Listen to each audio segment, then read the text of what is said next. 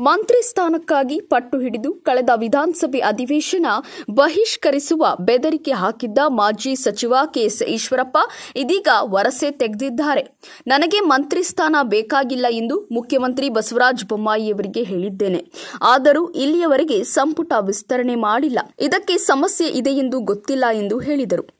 ಸುದ್ದಿಗಾರರೊಂದಿಗೆ ಮಾತನಾಡಿದ ಅವರು, ಕಾರ್ಯಕರ್ತರ ಅಪೇಕ್ಷೆ ಮೇರೆಗೆ ಸಂಪುಟ ವಿಸ್ತರಣೆ ಮಾಡುವಂತೆ ಮುಖ್ಯಮಂತ್ರಿಯವರಲ್ಲಿ ಮನವಿ ಮಾಡಿದ್ದೆ. ಅವರು ಕೂಡ ಭರವಸೆ ನೀಡಿದ್ದರು.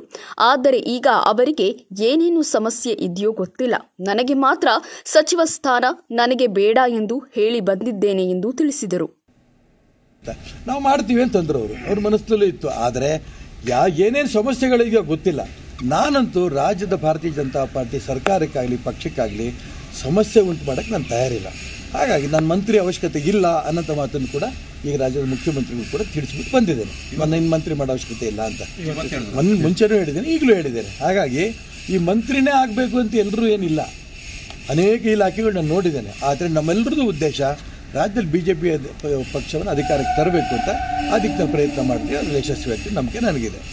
ನಾನು ಹೇಳ್ತೀನಲ್ಲ, ರಾಜಕಾರಣದಲ್ಲಿ ಏನೇನು ಆಗುತ್ತೆ, ಬಿಡುತ್ತೆ ಯಾರಿಗೂ ಗೊತ್ತಾಗಲ್ಲ. ಈಗ ಅವ್ನು ಯಾರೋ ಸಂತೋಷ್ ಪಾಟೀಲ್ ಸೂಸೈಡ್ ಮಾಡ್ಕೊಂಡೆ ಅಂತ ಕನಸು ಬಿಟ್ಟು ಬಿದ್ದಿತ್ತ ನಮ್ಗೆ ಯಾರು ಕೂಡ. ಅವ್ನು ಮಲಗಿರೋ ಜಾಗ ಒಂದು, ಅವನೇನೋ ಡೆತ್ ನೋಟ್ ಸಿಕ್ಕಿದಂಥ ಸ್ಲಿಪ್ ಅದೇದೋ ಜಾಗದಲ್ಲಿ. ಆ ಡೆತ್ ನೋಟು ಕೂಡ ಟೈಪ್ ಆಗಿದ್ದು. ಸಿಗ್ನೇಚರು ಇಲ್ಲ, ಕೈ ಹ್ಯಾಂಡ್ ಬರೋನೆಲ್ಲ ಕನಸು ಯಾರು ನಾವು ಕಂಡಿರಲಿಲ್ಲ.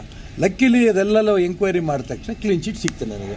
ಕ್ಲೀನ್ ಶೀಟ್ ಸಿಕ್ಕಂಥ ಸಂದರ್ಭದಲ್ಲಿ ಸ್ವಾಭಾವಿಕವಾಗಿ ನಮ್ಮ ಇಡೀ ರಾಜ್ಯದ ನಮ್ಮ ಕಾರ್ಯಕರ್ತರು, ಹಿತೈಷಿಗಳು, ನಿಮ್ಗೆ ಯಾಕೆ ಇನ್ನು ಮಂತ್ರಿ ಮಾಡಿಲ್ಲ, ಎಂತ ಮಂತ್ರಿ ಮಾಡೋದ ಅಂದಾಗ ನಾನು ಮುಖ್ಯಮಂತ್ರಿ ಮೇಲೆ ಕೇಳಿದೆ ಏನಿದು ಅಂತ. ನಾವು ಮಾಡ್ತೀವಿ ಅಂತಂದ್ರು ಅವರು. ಅವ್ರ ಮನಸ್ಸಲ್ಲೂ ಇತ್ತು. ಆದರೆ ಯಾ, ಏನೇನು ಸಮಸ್ಯೆಗಳಿದೆಯೋ ಗೊತ್ತಿಲ್ಲ.